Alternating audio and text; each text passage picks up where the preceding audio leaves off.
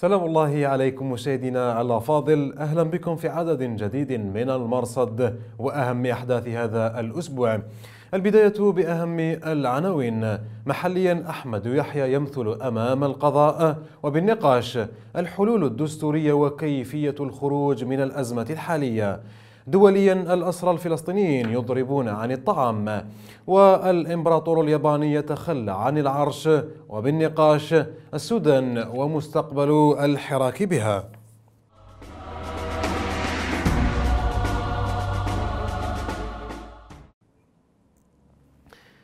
أهلا من جديد. أحيل ملف الوزير الأول السابق أحمد يحيى إلى المحكمة العليا بعد مثوله في محكمة سيدي محمد للاستماع إليه فيما أسمي قضايا تبديد المال العام ومنح امتيازات غير مشروعة ويذكر أنه منذ عام 1995 شغل أو يحيى رئاسة الحكومة خمس مرات كان آخرها بين أوت 2017 ومارس 2019 حيث استقال على خلفية الحراك الشعبي الذي دفع بالرئيس عبد العزيز بوتفليقة للاستقالة. في موضوع آخر جبهة التحرير الوطني تعين أمينا عاما جديدا بجلسة مغلقة منعت فيها وسائل الإعلام من الدخول. وكان قد تم سحب الثقة من جمال ولد عباس الأسبوع الماضي من طرف أعضاء اللجنة المركزية للحزب. تعود الذكرى الثامنة والثمانين لولادة جمعية العلماء المسلمين التي أسست سنة 1931 على يد العلامة عبد الحميد ابن باديس وسطرت الجمعية أهدافا لها من بينها. إصلاح المجتمع والنهوض به وزرع القيم والأخلاق الإسلامية الرفيعة والمحافظة على الهوية.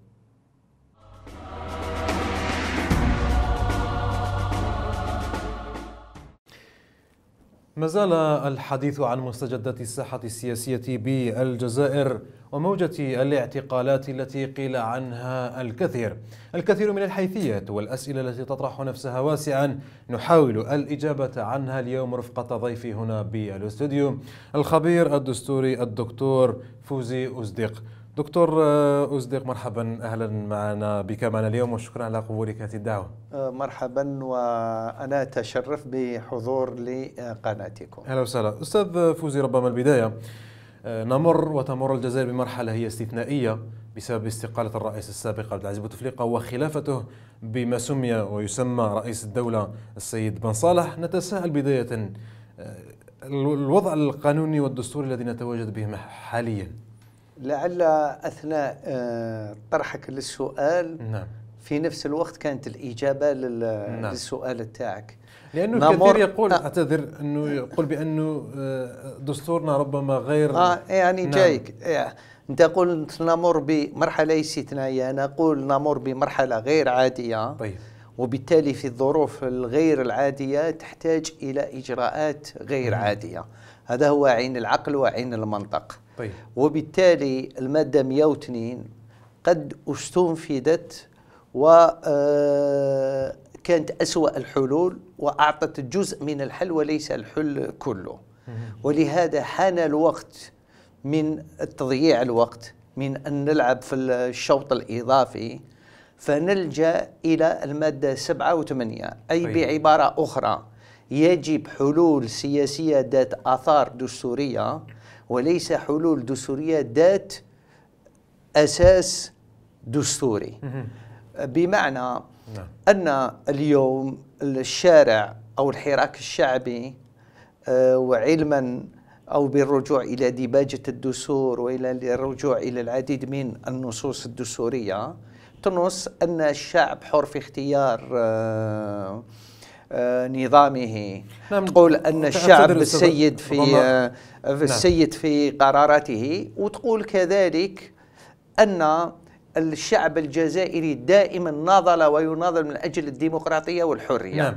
وما نفتح قوس نتحدث عن المادة سبعة والمادة ثمانية اللتان تنصان على أنه الشعب مصدر كل سلطاته بأن الشعب يمارس من خلال المؤسسات التي آه. يختارها. لكن المادة سبعة وثمانية ليس فيها هاني جاي يعني. إيه المادة 7 و8 هي مادة قيمية طيب وبالتالي ليست بدعة جزائرية بقدر ما هي ممارسة في مختلف الدساتير طيب. ولهذا في القانون الدستوري لعل كل الدساتير بالنسبة لهذه المواد هي صعب أن تحدد إجرائيا ولكن من السهل أن توجد لها مؤشرات للتطبيق. كيف يعني؟ ولعل مؤشرات التطبيق لهذه المواد هو الاختيار الحر للشعب هو استقلالية السلطة هو احترام الحقوق والحريات هو كذلك الفصل ما بين السلطات. إحنا للأسف الشديد الجزائر منذ عشرين سنة على الأقل كل السلطات كانت تابعة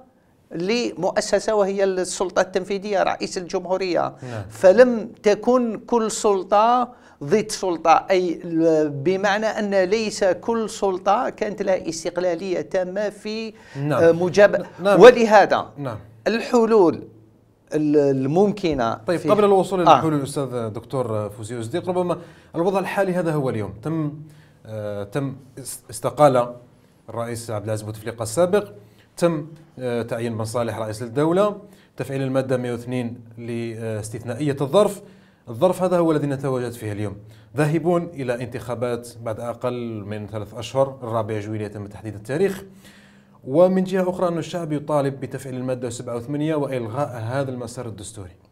كيف تقرأ أنت كل هذا؟ كيف نقرأ نعم. يعني بالرجوع قراءة دستورية نعم. هادئة هادفة أول شيء أنا قلت أن الدستور قد تم استنفاذه طيب. لأن الدساتير الجزائرية منذ 63 مرورا ب 76 وصولا ل 91 إلى حين هي دساتير أزمة أي جاءت لتولد أزمة بدلا ما تمتص الأزمة والدليل على ذلك دستور 63 آه، عمر ثلاث أسابيع ثم فعل بموجب 59 تم تجميده آه، في 65 19 جوان 1965 فيه البيان الصغير أو نعم. الدستور المصغر الذي عمر 11 سنة في 91 بحجة آه، تحييد اختيار الشعب وتفعيل المادة 84 تم تأسيس مجلس وطني انتقالي ومجلس الأعلى للدولة بمؤسسة استشارية الدولية نعم. اليوم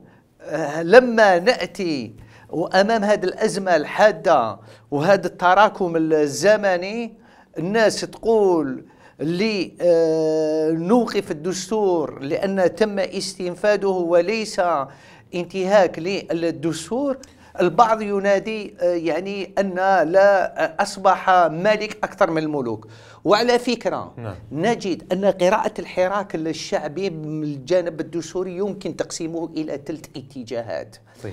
اتجاه ممكن نسميه شاد ينادي بتثبيت الدستور لأن الحراك أصلا قائم نتيجة أن الناس عبثت بالدستور طيب. فيه اتجاه ثاني للحراك على نقيض ينادي بإلغاء الدستور وإنشاء دستور جديد طيب. ولعل قائد الأركان البارح قال أن على الرئيس الجديد هو الذي يعدل الدستور وفي اتجاه كبير وأنا أميل إلى هذا الاتجاه طيب. وهذا ليست بدعة دستورية نعم. أن في أي دستور يوجد الدستور الاجتماعي والدستور السياسي الدستور الاجتماعي نبقيه وهي التي تتكلم على ثوابت الأمة طيب. والتي هي التي تتكلم عن الحقوق والحريات والتي تتكلم العلاقة ما بين السلط أو الأحكام الانتقالية أما الدستور السياسي نسقطه لينظم السلطات الثلاث التنفيذية والتشريعية نعم. والهداك ونستكمله بإعلان أو ببيان دستوري يو طيب. يشرعن للمرحلة الانتقالية لكن من له السلطة من أجل تفعيل هذا المقاربة التي تكلمت عنها الشق الاجتماعي والشق القانوني أو السياسي. لو أردنا أن نعم. نتكلم لعل أنت الخلفية تاعك تقول ممكن فراغ دستوري. لو أردنا أن نتكلم عن الفراغ الدستوري لا من يملك السلطة من أجل هاني جايك لأن لأن هذا هو المفتاح تاع السؤال تاعك. الفراغ الدستوري عشناه أول خطاب تاع رئيس الجمهورية اللي قرأوه له. نيابة عنه نعم. وبالتالي من خمس سنين ولا ست سنوات وإحنا عايشين فراغ دستوري من يملك وهل هذا يبرر من أجل الاستمرار في في خرق الدستور أو إلغائه الدستور لم يخرق اليوم نعم. الدستور نعم. خرق من عشرين سنة لو جينا دولة تحترم نفسها طيب. وزير مالية مانيش نتكلم على السابق وزير مالية طيب. يستدعى أمام البرلمان ويستدعى آه، عفوا أما عند النائب العام وكان كان الجوفرنور يعني المحافظ السابق لبنك الجزائر وما زال على منصبه لو كنا في دول مقارنة إما يقدم استقالة نعم. وإما يعفى من منصبه وبالتالي البريكولاج الدستوري أو السياسي لعل هذه من ضمن أحد الثوابل التي انتفض الشعب في هذا الحراك الشعبي. طيب. وبالتالي يجب أن نبني دولة كما يقال لا تزول بزوال الرجال وليس دولة البريفابريكي يجي تسونامي أو ريح بسيط أو أزمة بسيطة يكون انهيار لباقي المؤسسات الأخرى. كيف أستاذ نعم؟ من من ي... آه. كيف نصل إلى هذه الحالة التي تحدث عنها؟ ومن بإمكانه أن يفعل ما تحدث عنه أنت؟ دستور بشق اجتماعي وشق غير اجتماعي. أنا أنا مثلا نعم. رؤيتي الشخصية كحل كاجتهاد شخصي. طيب. وما شاء الله هاني نشوف في هذه المرحلة في, في العديد من الاجتهادات. نعم. لعل الحراك الشعبي من ضمن أحد مطالبه. وحنا ماشيين في مطلب الفساد. ونجد أن فيه محاكمات ولكن الخوف أن ننحرف على هذا المطلب يعني أن نجري على كأن جري وراء الساحرة أن يكون هذا المطلب مطلب مستمر وليس ذات منبث سياسي ويكون شامل وكامل من حيث المدة ومن حيث الرقعة ومن حيث الزمان أما السؤال تاعك نعم. ممكن فيه بعض الحلول الدستورية. مثلا لو تكون استقالة جماعية للباءات الثلاثة نكون أمام فراغ دستوري أو حالة لم ينص عليها الدستور. وبالتالي ممكن من حق البرلمان في غرفته يجتمع وإقتراح التعديلات للدستور من ضمن هذه التعديلات ممكن بيان دستوري أو إعلان دستوري يشرع لهذه المرحلة الانتقالية في آه، محددة الزمن ونلجأ إما إلى ندوة وطنية أو إلى جمعية تأسيسية وإن كانوا أصحاب السلطة لهم حساسية لفكرة الجمعية التأسيسية بحكم أن أول حزب جزائري حزب أيت أحمد منذ 63 وينادي بهذه الفكرة أو اللجوء إلى لجنة الإصلاح أو اللجوء إلى مائدة مستديرة فالحلول موجودة. ولكن الإرادة السياسية الصادقة نعم. والنية الصادقة للمش... للمضي نحو الأمام هي المفقودة. نحن لا نريد أن نؤسس إلى نظام بحذاء قديم. ولكن طيب أستاذ أو تلميع نعم حذاء قديم آه. أنت تتحدث عن إعلان دستوري ماذا يقصد بإعلان دستوري؟ هل نلغي الدستور الحالي؟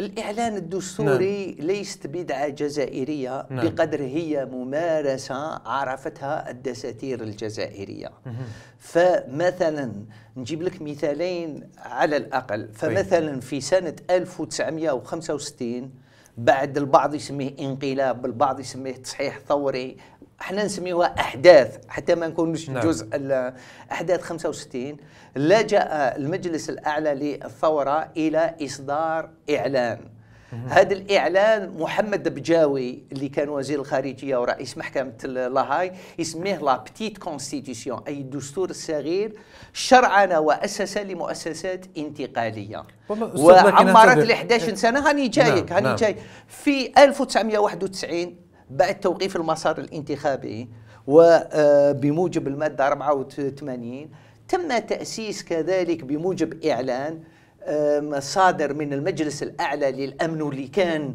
جهة استشارية وليس جهة نعم. سيادية في الدستور الجزائري استشارية للرئيس آه اسس لمؤسستين نعم. رئاسة الجمهورية من خلال المجلس الأعلى لل المجلس الأعلى للدولة وكانت رئاسة جماعيه من خمس أفراد نعم. ومجلس وطني انتقالي وبالتالي لماذا حلال في هذه المرحلة وحرام في تلك لكن المرحلة لكن ربما عندما نتحدث اعتذر عندما نتحدث عن هذه الإعلانات الدستورية آه. والمراحل الاستثنائية نتحدث عن ما جاء بعدها ما بعد 65 وما بعد 91 النتائج هل هي نتائج مرضية حتى نتحدث اليوم عن ولكن إحنا ولكن إحنا إعلان دستوري. نعم. ليس نابع من السلطة ولكن نابع من السلطة والأحزاب والحراك الشعبي. لكي يكون توافقي ولكي يكون كذلك مقبول لدى الجميع. لأن الإشكالية في الجزائر منذ 1962 إلى يومنا يعني 57 سنة كل القرارات كانت آه، نابعة من الفوق. ثم نزل للتحت. ولهذا دائما الفساد يكون من الفوق وينزل للتحت والإصلاح يجي من التحت ويطلع للفوق. ونحن نريد أن نبني دولة بمقومات ومواصفات دولية. المواصفات الدولية تقول أن الشعب حر في اختيار طبيعة نظامه السياسي. هذه موجودة في الدستور في الإعلان العالمي لحقوق الإنسان ومعيار دولي. نعم. وبالتالي نجد أن أبسط طريق وأسلم طريق وطريق الذي يمازج ما بين الدستوري والسياسي وهو اللجوء لأن التشبت بانتخابات 4 جويلية 2019 هو ضرب من الخيال حسب قناعتي لماذا؟ الضرب من الخيال لي لأنه يقول القائل بأنه مسار دستوري ومثبت دستوريا هذا نعم. المسار نعم. الدستوري يحتاج إلى هيئة وطنية مستقلة للانتخابات طيب. ونجد أن الهيئة إلى يومنا غير موجودة ويجب أن تكون توافقية يحتاج إلى إشراف للقضاء وليس إشراف إداري كما هو موجود في القانون 2016 اللي صدر في 25 أغسطس 2015 اللي ينظم العملية الانتخابية نعم. ولما أقول العملية الانتخابية نعم. نجد أن أي عملية انتخابية آه، وفق المعايير الدولية يعني الشفافية والنزاهة تبدأ من التسجيل في القوائم الانتخابية إلى الفرز إلى إعلان النتائج إحنا للأسف الشديد من الناحية الدستورية أول مرحلة يشوبها آه، نقص في الشرعية. العديد من البلديات امتنعت عن التسجيل وبالتالي الوعاء الانتخاب عن تسجيل الناخبين نعم.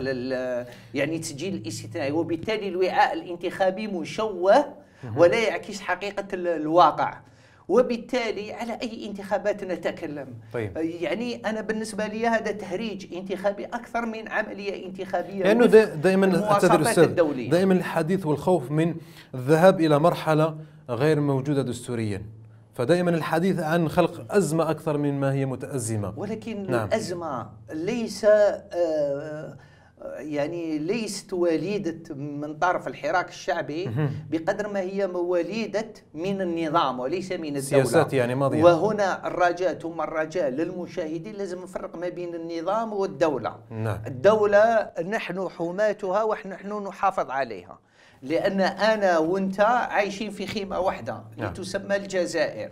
وعندها أعمدة وعندها لأن كي تطيح راح تطيح بالطالح والصالح تاخذه ولكن النظام هو المشكل. النظام يعني الممارسات المافيوزية أو حتى لا أتجرأ آه، يعني مش أنا اللي قلتها ممارسات يعني تاع العصابة كما حسب حسب اللونجاج أوفيسيال حسب ما قالها القيد صالح. آه المصطلح الرسمي. نعم. وبالتالي آه، كان دائما نفي للقانون. كان آه، انتهاكات جسيمة في جميع المجالات ولعل الحين القدران اللي هاي بدأت تتخرج بل ما بدأتش تخرج بل الرائحة رائحة هذا العفن الإداري والشكارة والمال الفاسد السياسي بدأ يطفو نعم. يعني الكل الجزائريين طيب وبالتالي كفأنا نعم. من هذه الممارسات نعم. فنريد أن نبني دولة يعني حسب ما تمناه الشهداء دولة حسب خصوصياتنا حسب موروثنا الحضاري يعني دولة نابعة من الشعب. طيب ربما هناك من يقول هل في إمكانية تعطيل بعض المواد من الدستور التي تعطل المرور إلى مرحلة انتقالية كما يريدها الشعب؟ يعني نعم. يعني بدون إضافات نتحدث عن آه، آه، حذف مواد أو تعطيلها. ممكن نعطي ممكن تعطيلها ولكن حتى يمكن أن تعطل يجب خلق حالة دستورية لم ينص عليها الدستور. وبالتالي من خلال هذه المساحات الرمادية التي تخلق ممكن اللجوء إلى حلول دستورية. هل المجلس الدستوري هو من ينفذ هذا أنا بالنسبة لي المجلس الدستوري نعم. يشوبه النقص وفاقد للشرعية. للحالية للسابق. لأن تجاء الدستور الجزائري وفق المادة 148 ينص أن رئيس المجلس الدستوري ينتخب لعهدة واحدة نعم لمدة ثمان سنوات. طيب. بالعيز عين مرتين. آخر مرة انتهت العهدة تاعو 2013 ثم عين في 10 فبراير نعم. 2019 طيب, طيب أنا اسمح لي ما دام نعم. الشيء بشيء يذكر. والرئيس الحالي نعم. الرئيس الحالي اختل بالتوازنات داخل المجلس الدستوري. لأن المجلس الدستوري يقول لك ربعة يعينهم رئيس الجمهورية بما فيهم الرئيس والنائب. اثنين ينتخبهم المجلس الوطني الشعبي. اثنين ينتخبهم مجلس الأمة. اثنين جايين من مجلس الدولة. واثنين جايين من مجلس المحكمة العليا. نجد أن فنيش هو من الكوطة تاع مجلس الدولة. لا يحق له و... أن يكون. لا يحق. وبالتالي نعم. إحنا فعليا رئيس الدولة هو عين خمسة ومجلس الأمة فيه واحد. وهذا خرق جسيم للدستور طيب ربما أنا ما فهمت من كلامك أنه قبل الذهاب إلى تعديل دستوري أو إعلان دستوري يجب آه، إسقاط الباءات المتبقية. على إسقاط الباءات المتبقية من خلال استقالة ثم اللجوء إلى حلول سياسية ذات طابع دستوري لكن, لكن وليس نعم أعتذر. ألا ترى بأنه يجب الحفاظ على ما تبقي ما تبقى من رموز الدولة المتمثلة في شخصيات بدوي وبن صالح وفنيش؟ هذا على الأقل مع الجانب الدولي الخارج يعني. لا له رموز نعم. وأيضا أعتذر من من أجل استكمال المسار القضاء وما يفعله القضاء اليوم. إحنا شوف نعم. انت باش إحنا في خلفيتين الحين تتصارع. طيب. فيه منطق الإصلاح وفيه منطق التغيير. منطق الإصلاح اللي يعتمد على المادة 102 ويتشبث بالشرعية الدستورية. طيب. légalité constitutionnelle ومنطق التغيير يتشبث بالمادة 7 و8 و9 و10 وديباجة الدستور وهي المشروعية الشعبية la légitimité populaire وبالتالي أمام هذا المنطقين منطق الإصلاح ومنطق التغيير نجد أن الحراك يقول لك قاع آه، يروحوا قاع يروحوا قاع وبالتالي نجد منطق الإصلاح المادة 102 خلاص زي آه، حبا قارس عصرت واش كاين فيها دوكا تتشبت بالقشور وتنسى اللب هذاك شيء آخر. ولكن لأي دستور له منطوق وله روح.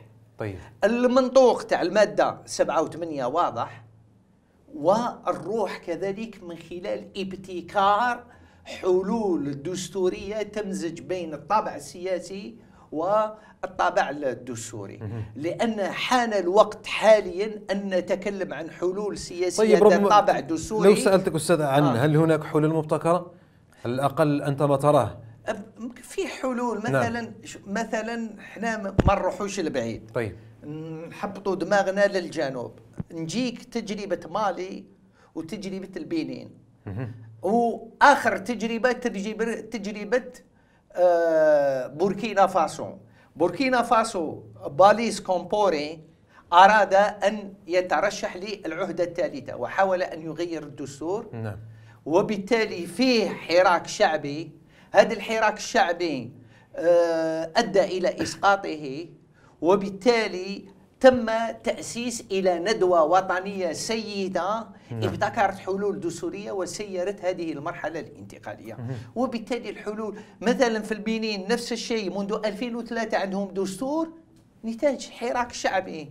المالي منذ 2008 عندهم دستور نتيجة حراك شعبي. وبالتالي في حلول ولكن المشكل ما فيش النية الصادقة ما فيش نية للذهاب إلى الأمام. ولهذا نجد أن في الجزائر اليوم تحتاج إلى حلول سياسية ذات طابع دستوري وليس إلى حلول دستورية ذات أثر سياسي. طيب أستاذ ربما أيضا شهد هذا الأسبوع حملة اعتقالات كبيرة على آخرها ما تم مع الوزير السابق الأول السابق اويحيى ربما أنت كيف تقرأ هذه الاعتقالات وفحواها القانوني؟ فحواها القانوني هو نعم. الاستجابة لأحد مطالب الحراك الشعبي وهو القضاء على الفساد ورموز الفساد وممارسات الفساد. ولعل أكبر الدول التي نجحت في آه، محاربة الفساد بدأت بالرؤوس نعم. وثم نزلت للتحت. والقراءة الثانية لعل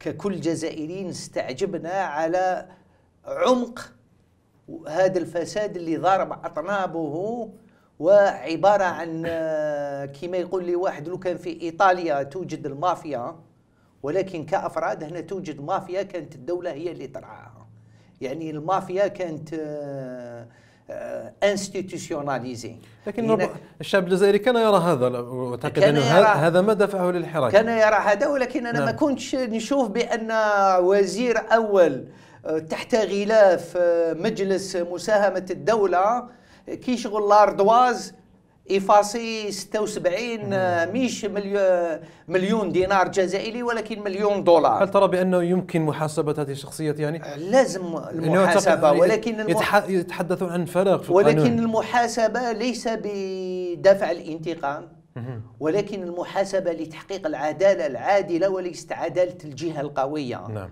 وهذا هو الفرق المحاسبة ما لازمش تكون ذات منبث سياسي طيب. بقدر ما تكون ذات منبث آه، منبث قانوني ولعل لدينا تجربة هنا في إفريقيا الوسطى وكذلك الدول اللي عاشت العدالة الانتقالية طيب. يعني تحاسب بالشخص بعد ما تحاسب ويذنب ويعترف ومن بعد فيه آليات كما في تونس ممكن يخفضوا له العقوبة باسترجاع الأموال لكن أستاذ هنا في الجزائر هل يمكن محاسبة هذه الشخصيات النافذة؟ إحنا ظاهريا. قانونيا يعني. آه، قانونيا آه، لأنهم يتحدثون عن إحداث. القانون يقول أنه يجب إحداث محكمة خاصة. إحنا نشوف الجزائر توجد ثلث جهات فيه نعم. الهيئة الوطنية لمكافحة آه، الفساد الفساد وفيه الديوان الوطني للوقاية من الفساد وفيه مجلس المحاسبة ولكن نعم. نجد أن هذه المجالس كانت عبارة عن أصفار على اليسار ومش على اليمين لا قيمة لها نعم. لماذا؟ لأن لا توجد لها آه، صلاحيات كانت صلاحيات تاعها محدودة وكانت عبارة عن ديكور أو عبارة عن لون داخل الرسم معد سابقا للتبرك ولتمرير العديد من الممارسات الفاسدة نعم. فحان الحين الوقت لتفعيل هذه المؤسسات لإعطائها صلاحيات وكذلك لإعطائها استقلالية وحياد وفي آه، اتخاذ الإجراءات القانونية التي يعني يمكن أن نرى محاسبة شخصيات نافذة. ممكن أن يرى أن نراها قانونيا. نعم قانونيا. ولكن نحن أحيانا ينطبق علينا مثل آه، في المشرق موجود اقرأ تفرح جرب تحزن. لما تقرأ ينشرح صدرك للضمانات القانونية للمواد. لما تجي للواقع حدث ولا حرج. لأنه المواطنين وكأنهم غير مصدقين بأنه سيتم فعلا محاسبة الشخصيات سيتم لأن أشوف فيه مثلا بعض رؤساء نعم. الحكومات أنا ما نحبش نشخص في وكذلك بعض الوزراء ممكن أول إجراء هو الاستماع لدى النائب العام ثم الإجراء الثاني بحكم المنصب والصفة يجب كذلك تفعيله من خلال المحكمة العليا طيب. وبالنسبة للنواب وأعضاء البرلمان أول إجراء يجب إسقاط الحصانة البرلمانية. ثم الذهاب إلى الإجراءات القانونية المتعارف عليها. لأن في الجزائر رغم أنه وجود حراك نحن ليس أمام انهيار المؤسسات القضائية. نعم. بقدر ما نحن أمام آه، كنا كنا أمام عدالة الفاكس وعدالة التليفون وعدالة وبالتالي فيه انتفاضة. أنا ما نقولش انتفاضة فيه صحوة من طرف القضاة نتمنى أن القاضي يخضع إلا للقانون وما يمليه ضميره ولا يخضع إلى الإملاءات وإلى الفاكسات وإلى التليفونات وإلى اعتبارات أخرى غير الاعتبارات طيب, طيب، القانونية. طيب أستاذ ربما أيضا هناك من يقول بأن المحاسبات هذه ربما لم تكن مطلب شعبي للحراك وبأنه ليس وقته. الوقت هو الآن الإصلاح وخلق وابتكار حلول دستورية كما قلت أنت للمرور والذهاب إلى مرحلة انتقالية. ثم نؤسس لاستقلالية القضاء والسلطات المتبقية هذا الرأي أشاطرك ولكن نعم. كذلك في المقابل نحن لكي نذهب إلى مرحلة انتقالية سليمة بعيدة عن التشويش بعيدة عن التجاذبات بيئة صالحة كذلك لازم أن نؤسس لهذه البيئة الحاضنة.